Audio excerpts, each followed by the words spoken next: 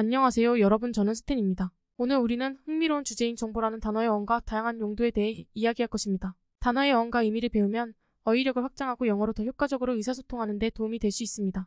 information라는 단어부터 시작하겠습니다. 접두사 in-는 not를 의미하고 폼은 shape 또는 피기어를 의미하는 라틴어 포머에서 유래합니다. 그것들을 합치면 information을 얻습니다. 문자 그대로 형태가 아님 또는 형성되지 않음을 의미합니다. 시간이 지남에 따라 이 단어는 지식을 알리거나 전달하는 행위를 의미하도록 발전했습니다. 오늘날 우리는 정보라는 단어를 사용하여 뉴스 보도, 학술 연구 또는 일상적인 대화를 통해 전달되는 모든 지식이나 사실을 언급합니다. 이는 오늘날 세계에서 효과적인 커뮤니케이션과 의사결정의 중요한 구성 요소입니다. 인터넷과 소셜미디어의 등장으로 이제 우리는 손끝에서 엄청난 양의 정보에 접근할 수 있습니다. 그러나 모든 정보가 동일하게 생성되는 것은 아니라는 점을 기억하는 것이 중요합니다. 우리는 정확하고 신뢰할 수 있는 정보를 얻기 위해 소스에 대해 분별력을 갖고 분석에 비판적이어야 합니다. 그렇다면 정보라는 단어에 대한 이해와 사용을 어떻게 향상시킬 수 있습니까? 그 뿌리와 다양한 의미에 대해 더 많이 배우고 다양한 맥락에서 사용함으로써 어어는 어휘를 확장하고 언어 능력을 개발하기 위한 강력한 도구가 될 수 있습니다. 학생이든 전문가이든